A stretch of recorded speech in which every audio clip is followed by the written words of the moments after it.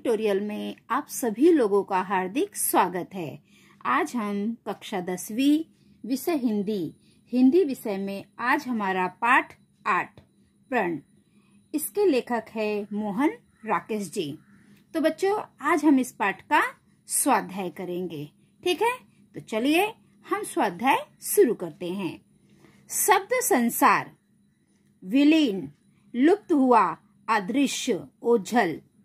प्रकोष्ठ, बड़ा कमरा, आक्रोश, क्रोध, रोष, धुआरे, धुएँ जैसे, तल्प, बिछौना, अटारी छाछ सूप, अनाज फटकने का साधन। अनश्वर, जो नष्ट होने वाला ना हो, वितृष्णा, अरुचि, घृणा। सूचना के अनुसार कृतियाँ कीजिए। जैसी सूचना है, वैसा हम कृति करेंगे। अंबिका के घर का वर्णन। आपको अंबिका के घर का वर्णन करना है। तो चलो, इसका उत्तर देखते हैं हम।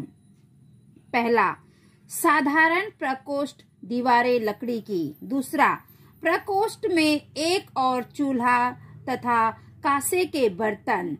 तीसरा, तीन चार बड़े कुंभ। चौथा चूल्हे के निकट दो चौकिया। ठीक है, अब हम अगला देखते हैं। कृति कीजिए, मल्लिका ने बारिश में किए अनुभव। मल्लिका ने बारिश में कौन से अनुभव किए थे? वो चार अनुभव हमें यहाँ पे लिखना है। तो पहला देखिए, मल्लिका का वर्षा का अनुभव अद्भुत था। दूसरा, उस क्षण के अनुभव को वह कभी नहीं भूल सकती। तीसरा सौंदर्य का ऐसा साक्षात्कार मल्लिका ने कभी नहीं किया। चौथा, मल्लिका उसे छू सकती थी, पी सकती थी। अब आगे देखते हैं। तीसरा, पाठ में प्रयुक्त इस अर्थ में आए शब्द लिखिए। सया, तल्प। घायल। घायल के लिए इस पाठ में कोई अर्थ नहीं है, इसे हम नहीं लिखेंगे। अनाज, धान, फटकार, डाट। चौथा, लिखिए पर्यायवाची शब्द। पर्यायवाची को हम समानार्थी शब्द भी कहते हैं, जिसका अर्थ समान हो, एक जैसा हो। ठीक है? अतिरिक्त। अतिरिक्त का आएगा सिवाय, अलावा, ज़्यादा। तीनों अर्थ है उसके। अनुभव, जानकारी, ज्ञान, उपलब्धि। मृत्यु मरण निधन अवसान। शेष बाकी ईश्वर अवशिष्ट। ठीक है? अब आगे देखो।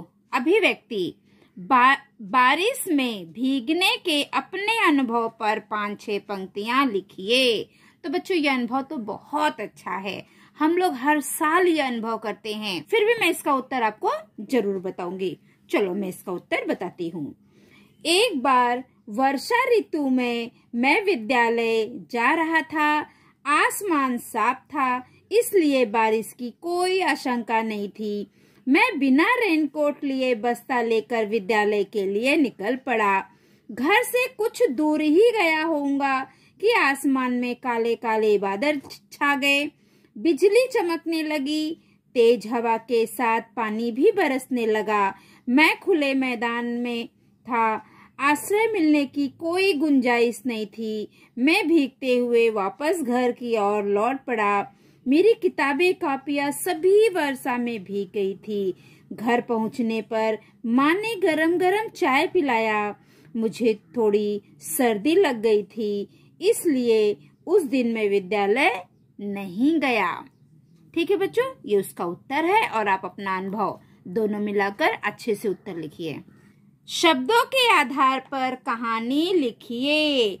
यहाँ पे कुछ शब्द दिए गए हैं।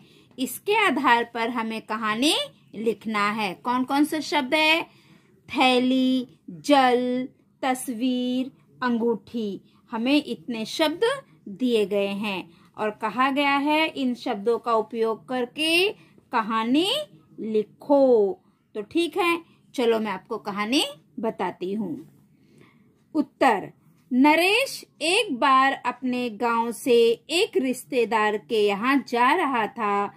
उसके रास्ते में एक नाला पड़ता था। नाला पाल, पार करने के लिए नरेश ने अपना पैंट ऊँचा उठाया और नाला पार करने लगा।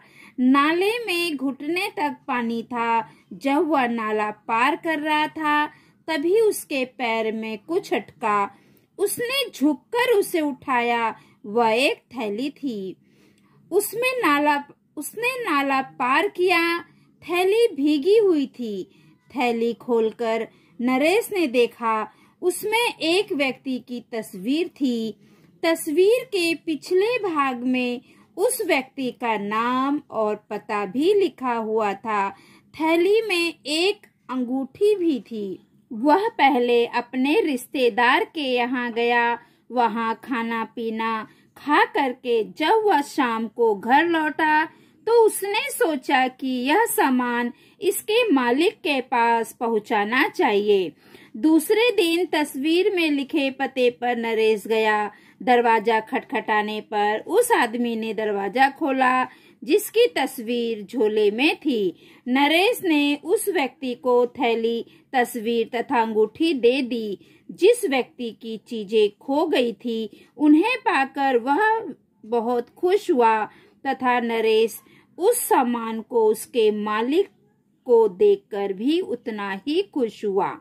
बच्चों, यहाँ पे मालिक के बाद की लिखा है, की नहीं आएगा।